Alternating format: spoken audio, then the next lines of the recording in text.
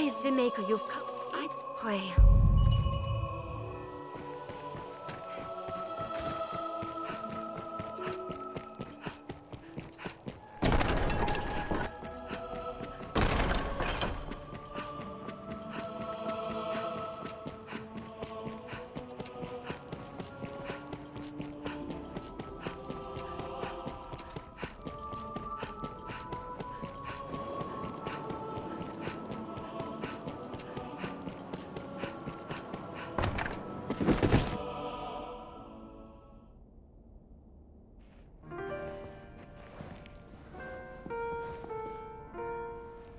My warrior has come for me.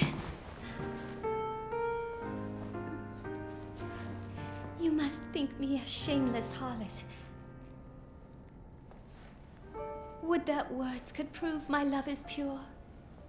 Off to a nice siren after a long day's ruling, sire? No, you must hide. There is a boldness that filled a dragon. Quickly! You storm my lady's bedchambers with the urgency of a man in battle.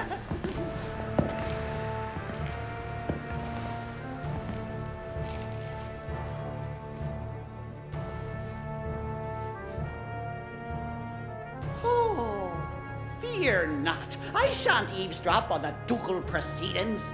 I remain to stand watch and guard, sire.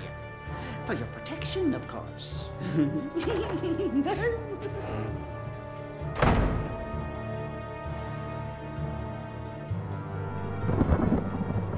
My Lord Edmun, would you had mentioned your coming, I might have dressed more finely.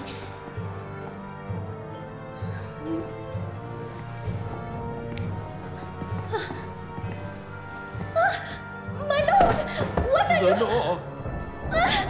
Lenore! Oh, my love! Forgive me!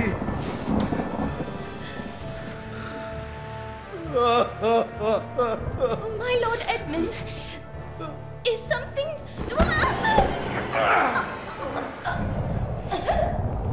Lenore! Forgive me! I was wrong! I take it back, Lenore!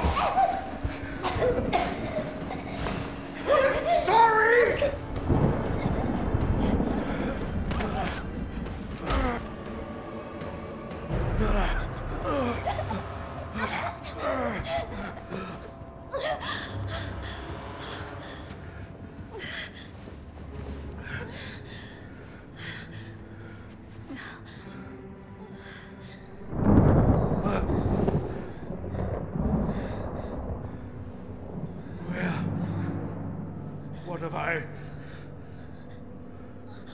Your Grace, Edmun, I. This isn't. This wicked fool mistook a trifling kindness that I once paid for something more. She stole into my room. I was terrified. This commoner must be made to learn, sire. Give her a taste of the lash and a stay in the dungeon. Feste! Feste, I know you're there! My lady is mistaken.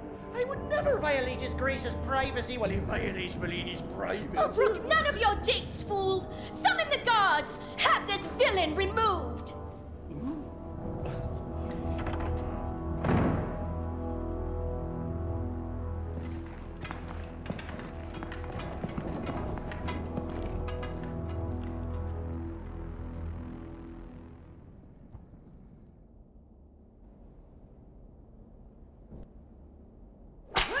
Well, now, what have we here?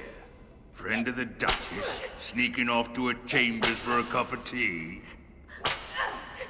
Must be a fine tea. What to come all this way in the dead of night? Or perhaps you seek refreshment of a different sort, like a turn in the sheets with His Grace's own wife. Damn, you're tougher than you seem. Perhaps there's aught to this arisen business after all.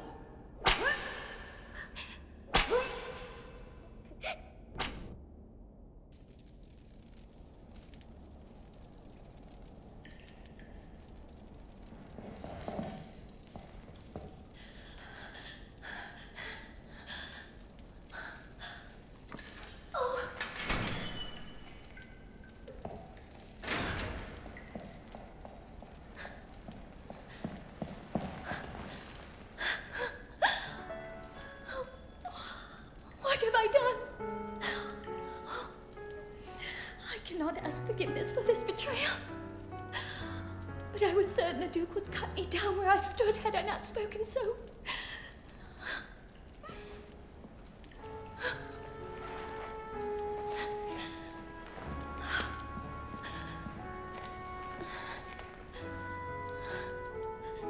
You must run. The Duke is half mad and fearsome wrath. I shall think of some way to assuage him.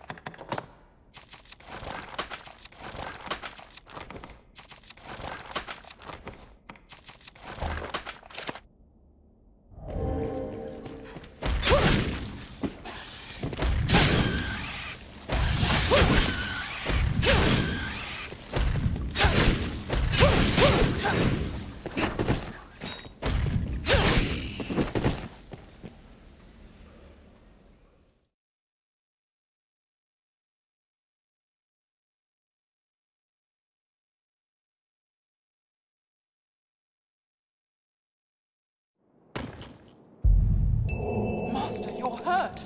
How did this happen?